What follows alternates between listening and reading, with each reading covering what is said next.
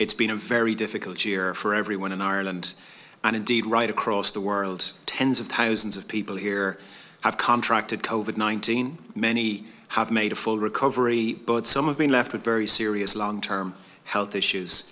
And as we all know, uh, as of today, 1,922 women and men in Ireland have lost their lives to this virus, and we all mourn this tragic loss of life.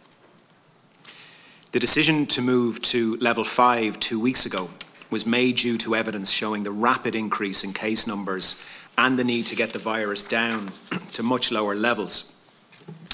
And I'm glad to be able to share with colleagues that there are positive signs in recent days. So the 14-day incident, uh, as of yesterday, was 228 cases per 100,000.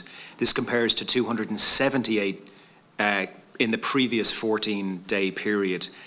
The rate is falling in 23 of the 26 counties. As of this morning, I'm happy to share uh, we have new information, which is the R naught. Uh, last week it was at 1, and as of this morning it has now been recalculated to, be, to being between 0.7 and 0.9. Critically, the average number of close contacts has fallen as well from around 6 uh, to now 3 and the testing positivity rate is also, falling and now stands at 4.7%.